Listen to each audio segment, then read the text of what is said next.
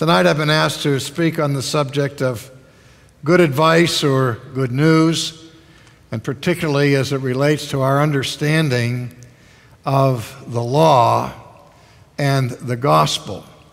And I'd like to read Mark's version of Jesus' encounter with the rich young ruler. It's found in chapter 10 of Mark's gospel, beginning at verse 17. I was just going to ask you to stand, but I'm not. I'm not at my home church. We always stand for the reading of the gospel, but when we have unbelievers in the mix, I,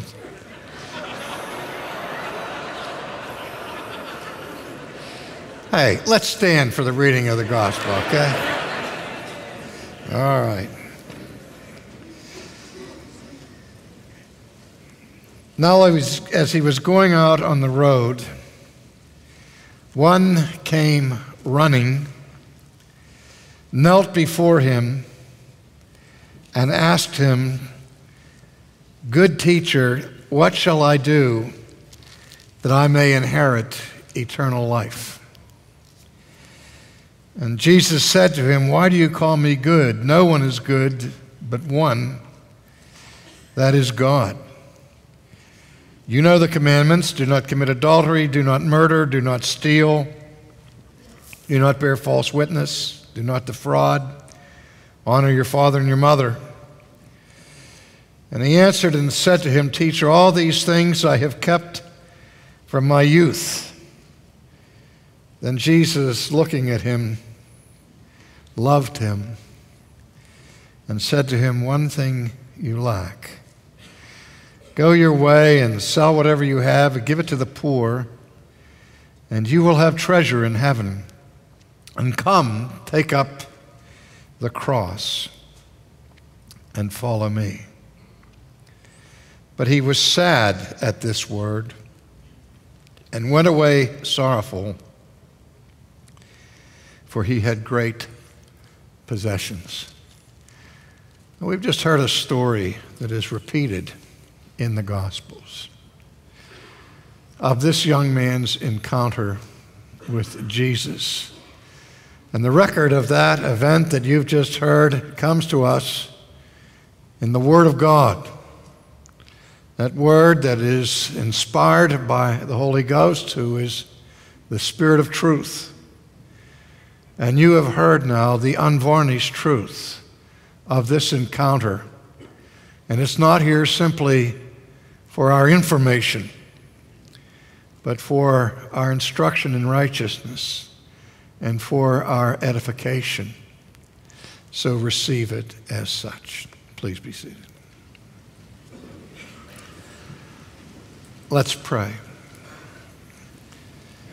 Our Father and our God, we thank you that you are not only there, but that you have spoken, and that you've not only spoken, but that you have spoken clearly and powerfully to us and to our human condition. Grant your mercy this evening by condescending to our frailty our weakness, that we might understand, hear with our ears, and embrace with our hearts the word that we have just heard. For we ask it in Jesus' name. Amen. The story that I just read uh, is an account of a man who came to Jesus for advice. He was looking for the right counsel. He was asking, in one regard, what could be considered the ultimate question. And hearing something about Jesus, knowing him at least by reputation, he sought Jesus out for this advice. And he didn't stroll to where Jesus was teaching, but we are told that he came running to Jesus. He came with a sense of urgency. He came as a man on a mission, trying to get the answer to his question as quickly and as clearly as he possibly could.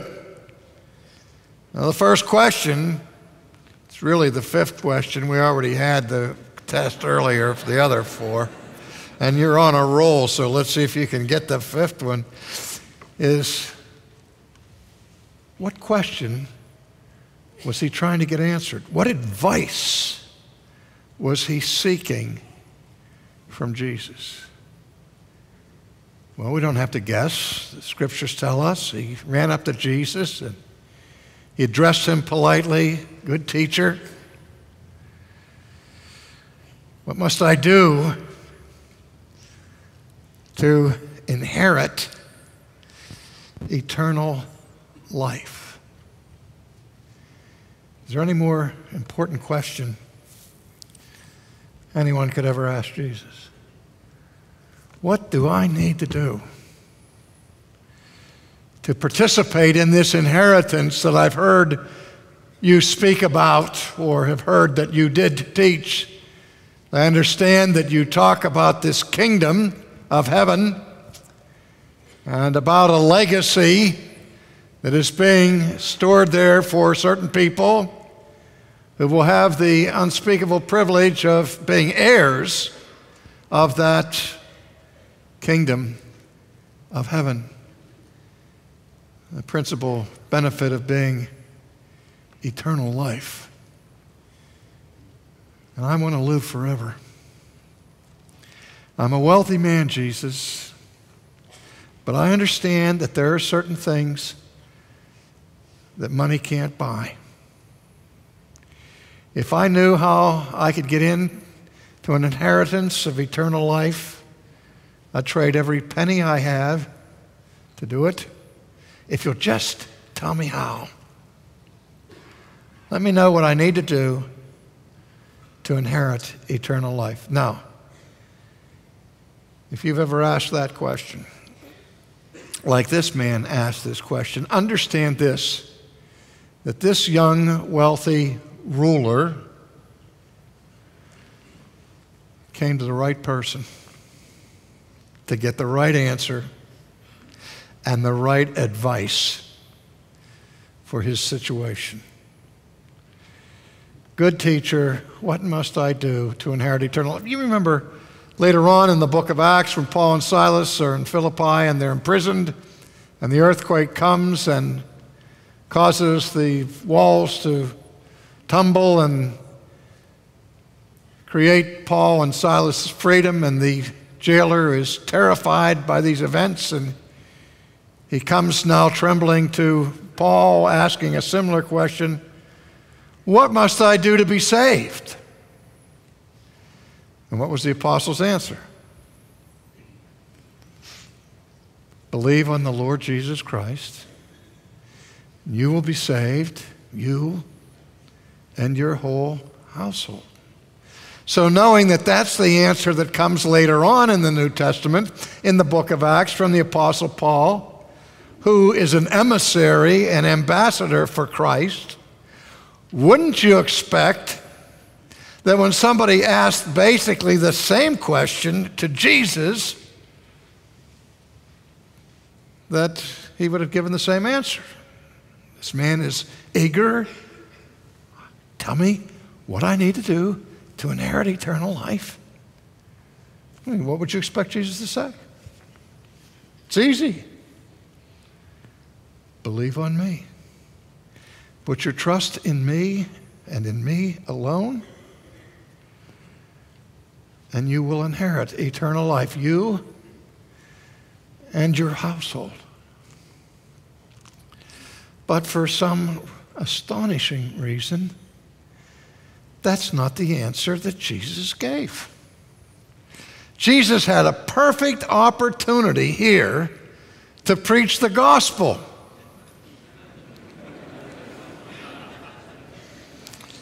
He didn't even give him the four spiritual laws. In fact, he virtually insulted the man for his gracious greeting. Being, Jesus, being Jewish, Jesus liked to answer a question with a question. You know why my Jewish friends answer questions with questions? Why not answer a question with a question? I went through this yesterday at lunch with one of my dear Jewish friends who's here tonight. You want to know why he's here tonight? why wouldn't he be here tonight?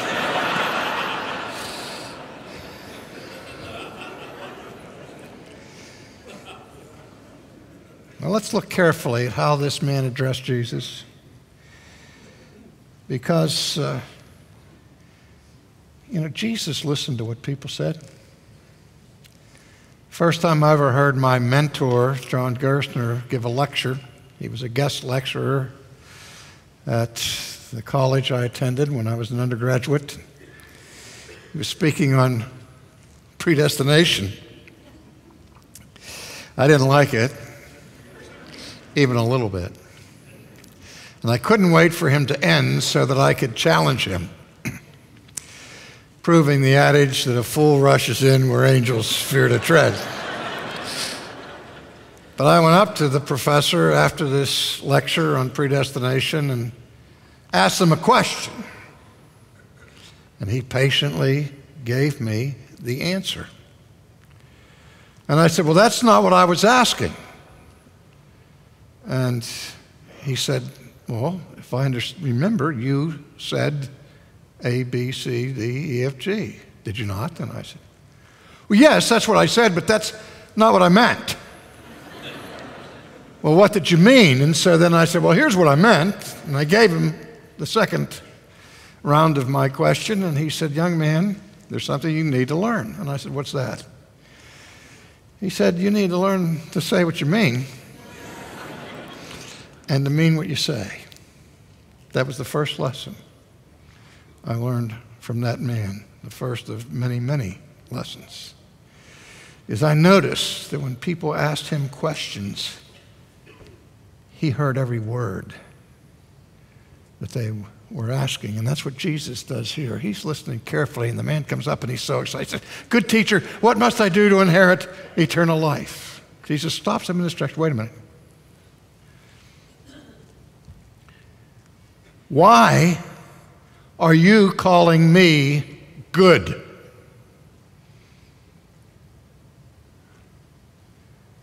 Well, you know, I was just trying to be polite. I, I have a great respect for you. Your reputation has preceded you. I hear you're the most uh, wise rabbi in the arena around here. Why wouldn't I call you good? Jesus said, Why do you call me good?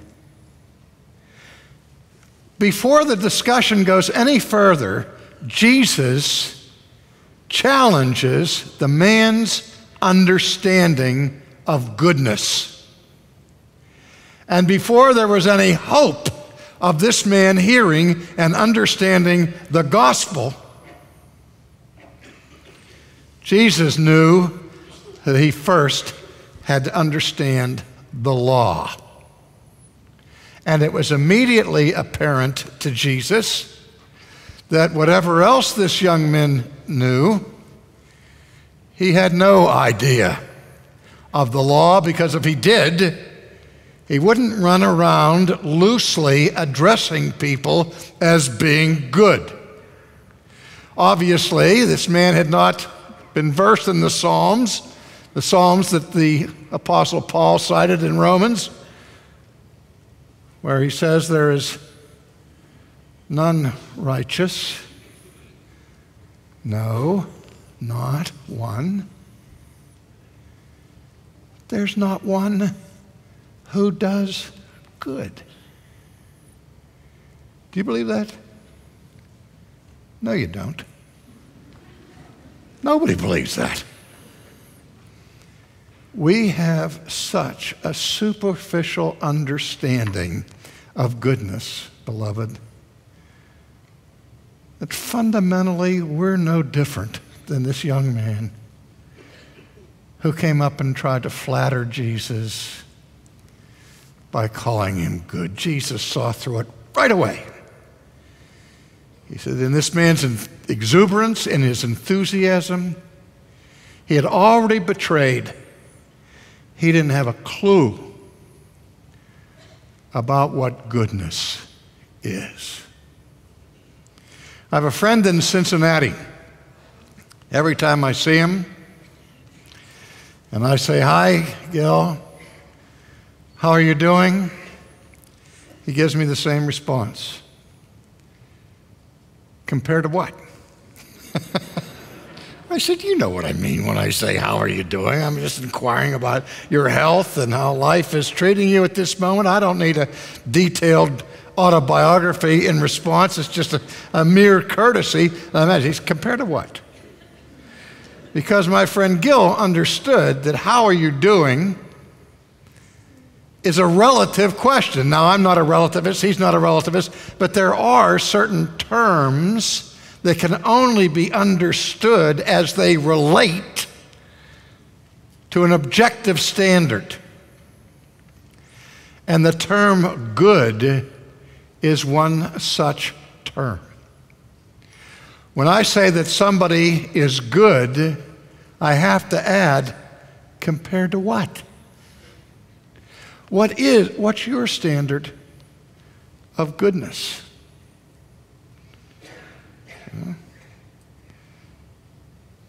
I have a good dog. Now, what does it mean when I say my dog is good? Here's what it means she comes when I call her, she's housebroken, and she doesn't bite the mailman on the leg when he comes to the front door. Because what I'm saying is, as far as dogs go, this is a good one. Now, if I say that you are a good person, what am I saying? You come when I call you? that your house broken? And you don't run around and bite the mailman on the leg? Of course not. I'm using a whole different standard now of goodness when I'm describing human beings than the standard I use when I'm describing canines.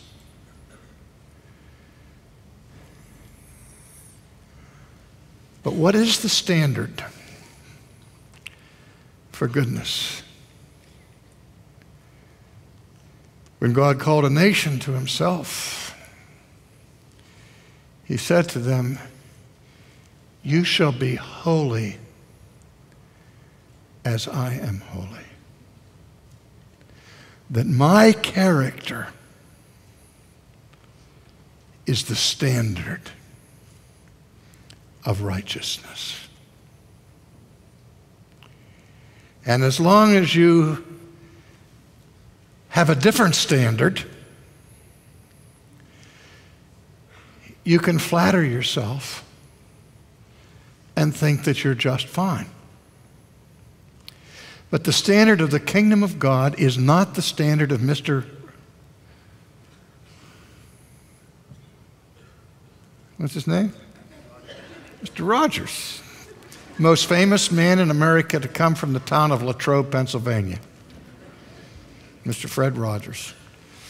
Everybody thinks Latrobe, they think of Arnold Palmer, but there's so many more people in America know about Mr. Rogers than know about Arnold Palmer, all these little kids. Mr. Rogers' neighborhood, everybody's good. What a wonderful day in the neighborhood. Huh? Goes on to say, I'm so glad you've turned out so nicely. Everything's cool there. But that's not the standard of righteousness that God gives us. The standard of righteousness is God's own character. Now, who in this room is good compared to that? And this is one of the main reasons, beloved, for the very existence of the law of God. In the 16th century, at the time of the Reformation, one of the great dis- disputes arose even among the magisterial reformers was okay, now that the gospel is here, now that we've become redeemed, what is the function, if any, of the Old Testament law? No longer under law, I'm under grace. I don't have the law, I have the gospel. So, is there any abiding value of the Old Testament law? Calvin, of course, is noted for his threefold use of the law, which I'll mention more about in a moment. But the first use that Calvin speaks of from the law, which he gets from the New Testament, is that the first function of the law is to be a mirror that reflects to us the character of God. The law reveals the righteousness of God Himself because the law is an expression coming forth from God's own character. Why did the Old Testament psalmist have an affection for the law when he would say, Oh, how I love your law? When's the last time you heard a Christian say, Oh, how I love your law? And even when the Apostle Paul rejo- rejoiced in being brought out from under the curse of the law, not being beneath the law anymore, he still would say, The law is holy. And never disparaged it. Because the first function of the law is to reveal the righteous character of God, which is the mirror in which we examine ourselves for the standard of righteousness. And if you've ever looked into that mirror, what did you see? You not only saw the righteousness of God, but instantly your unrighteousness became apparent. We have every imaginable psychological technique to distance ourselves from the guilt of our sin. We are masters at rationalization. We are masters of suppressing our understanding of sin. But if we look once in that mirror of the righteousness of God, if we stare at the law even for a second, it exposes us to the core of our being. And like Isaiah, we cry, Woe is me! I am undone. One glimpse of the character of God reveals to me who I am and what I am. And so part of that first use, the Apostle Paul says, is that the law is the schoolmaster who drives us to Christ. Because when the law reveals the holiness of God, at the same time, it reveals my unholiness and drives me to the gospel.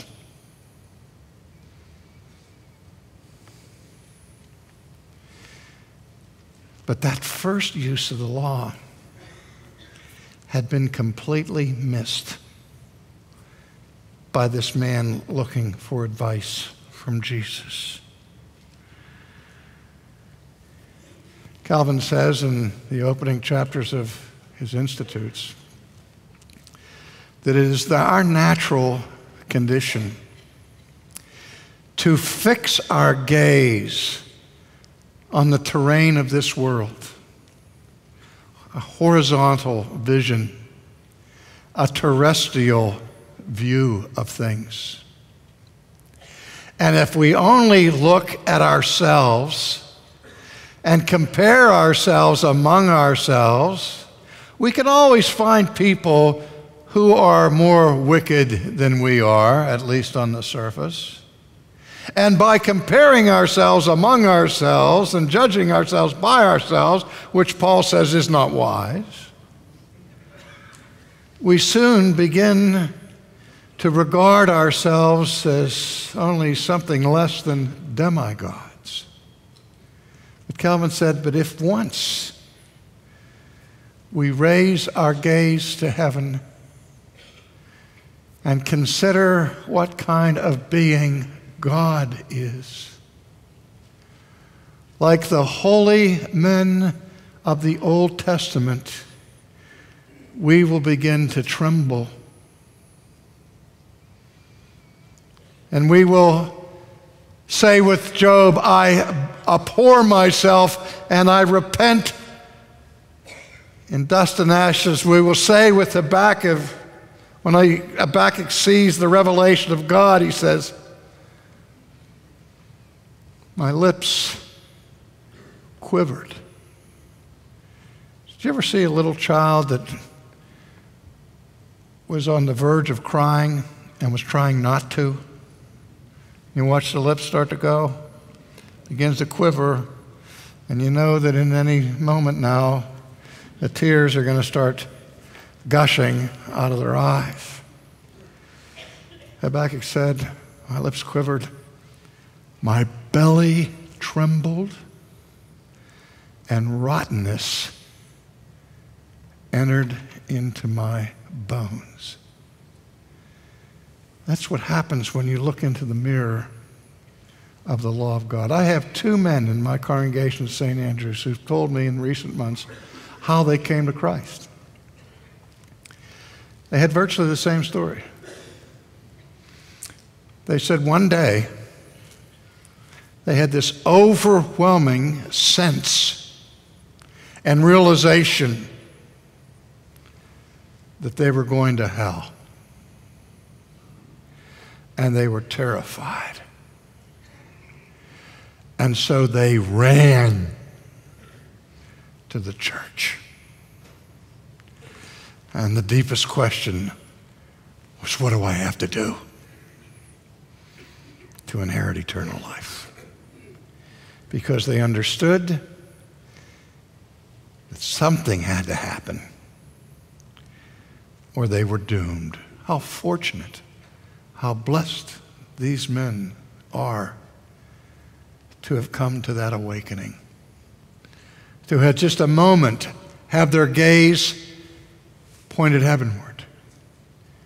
So that for an instant they understood their wretchedness, their helplessness, that they were debtors who couldn't possibly pay their debts. Can you do it? Can you pay God what you owe Him? Be honest for the first time in your life. You know the answer to that question. You are a debtor who's out of money. Your soul is about to be foreclosed on, and you have no ransom to pay. That's the language of the New Testament of our human condition. But we hide our eyes from it, we repress it. We say, God's a loving God. He's not going to send anybody to hell. All you have to do to go to heaven is to die. At least the rich young ruler had the good sense to ask the question, What must I do? to inherit eternal life? Well, the first thing you're going to have to do is disavow yourself of your understanding of goodness. Now, Jesus is unlike what some of the critics say. Some of the critics say, well, see, Jesus didn't consider himself the Son of God. Here, Jesus is denying his own righteousness. Oh, come on now. Missing the point.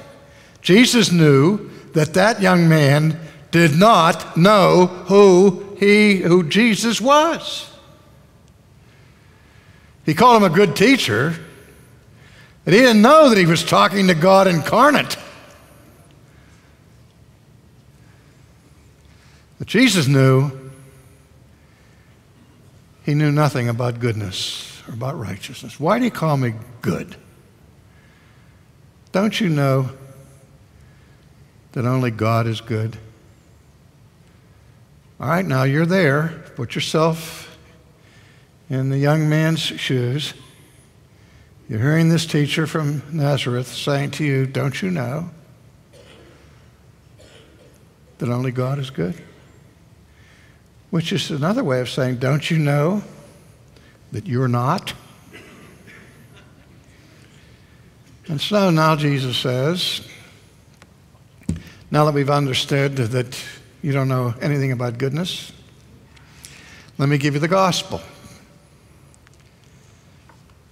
God, who is so good, so loved the world that he is giving me to you that if you believe on me, you won't perish, but you'll have everlasting life. There it is, quick and easy, John 3:16.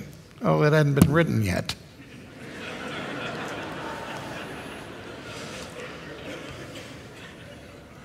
but don't you think now's time for the gospel? Oh, Jesus still has this poor fellow under the law. And now he takes his nose and rubs it in it he says to him, You want to get to heaven? You know the commandments Thou shalt not kill, thou shalt not steal, thou shalt not commit adultery, thou shalt not defraud your brother, thou shalt not bear false witness, honor your father and your mother.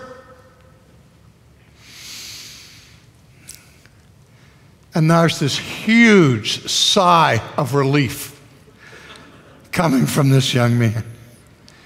Is that all? That's all I have to do to get into heaven? Oh, great. Because all of these things I've done since I was a little boy. And what does Jesus say?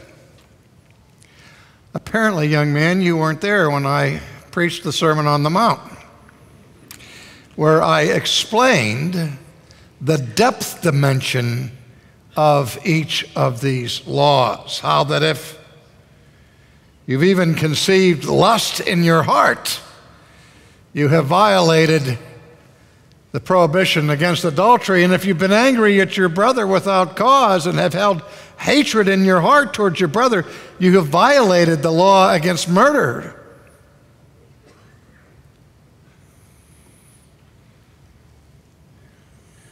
I explained all that. But you weren't in the audience that day. And so you're walking around now thinking that you've kept all these commandments since you were a child. Jesus might have said to the fellow, You haven't kept these commandments since you got out of your bed this morning. You haven't kept these commandments for the last five minutes.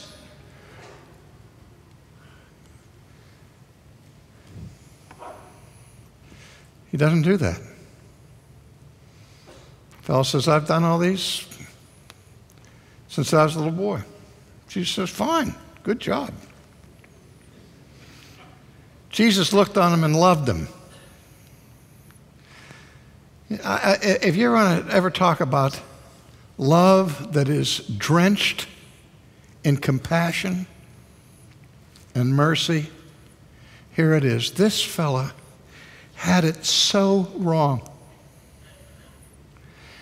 This fellow actually thought that he could live a life that was good enough to give him an inheritance in heaven. Do you know that there are people in this room right now who still think like that? They're more Muslim than they are Christians. They think that if their good deeds outweigh their bad deeds, they'll get in. Well, none of you have good deeds good enough to outweigh your bad deeds. Well, if we keep them balanced, nobody makes that. The scales of divine justice are so tilted against you, you've got two chances to make it by your good works slim and none, and slim left town. You talk about the most destructive self delusion there is. It is the delusion that you can work your way into the kingdom of God. And Jesus is not nasty to this fella.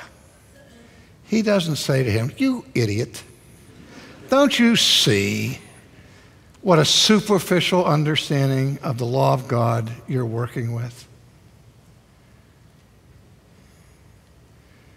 No, he loved him.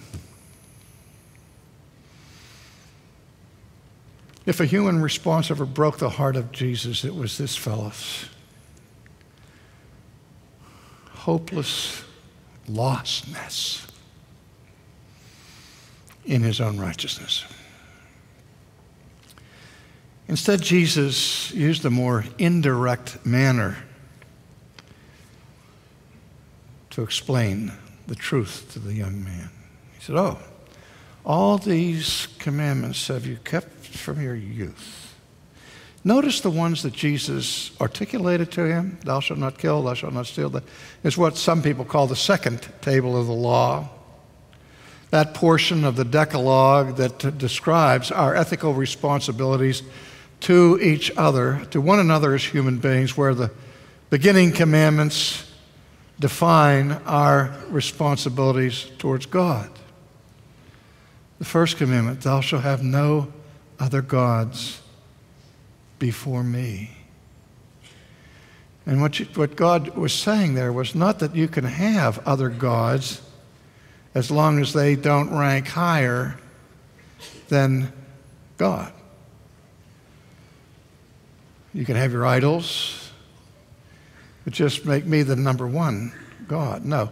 When he says, Thou shalt have no other gods before me, he means no other gods in my presence.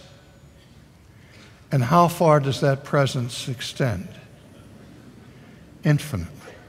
That means thou shalt have no other gods. Nothing could be more politically incorrect in America than that first law of the Ten Commandments. Because God is an exclusive God. There's only one God. And I am the Lord, there is no other. And your first responsibility as a human being, as one of my creatures, is not to worship any other gods, period. If all we were ever to be judged by was that commandment, folks, we would perish. and then moves on to prohibitions against idolatry. What would happen to you if God judged you just on the basis of this one? Thou shalt not take the name of the Lord thy God in vain. In the New Testament, when Jesus' disciples asked them, Teach us how to pray, the first thing he told them to pray for was what? That the name of God would be regarded as holy. That's the first petition. You live in a culture where the name of God is blasphemed every minute on television and in your churches and in your common speech.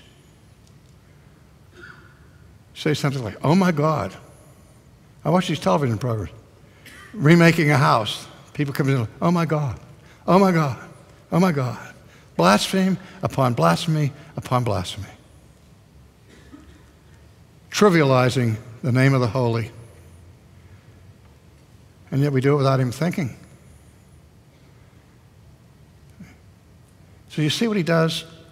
Jesus directs the young man's attention to the beginning aspects of the law. And what's the first one? Thou shalt have no other gods before me. And Jesus doesn't say, hey, look, I know who you are.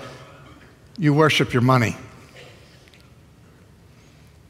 Instead, he put him to the test. Let's start at number one. You want to get into heaven? Go sell everything that you have, liquidate completely, and give it to the poor, and go take your cross and follow me. If you think that you can get into heaven by obeying the law, when by the works of the law, the apostle tells us, no flesh will be justified. Jesus said, let's try law number one and see how far you get. Jesus is not taking the opportunity here to legislate a universal moral axiom for Christians that they all have to give up all of their private property and give it away. That's not the point. He's dealing with this man, with this man's sin, with this man's besetting sin, with this man's idolatry, where he defines his entire life by his wealth. And that's not good. And so he said, Okay, I'll give you inheritance, heaven, eternal life. Just keep this first commandment. Sell everything you have. And one of the saddest outcomes of a story in the New Testament is the end of this story. The man came asking for advice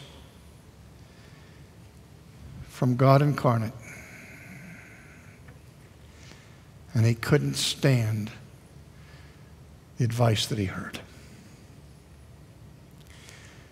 You see, by preaching the law to this man, Jesus was trying to drive him to the gospel. Instead, he walked away. He wasn't angry. He wasn't spiteful towards Jesus, but the demeanor by which he left was one of sadness. He was sorrowful. He shook his head. because he had great possessions. I can't do it. I just can't do it. I won't do it. I'd like to have an inheritance in heaven. I'd like to be saved.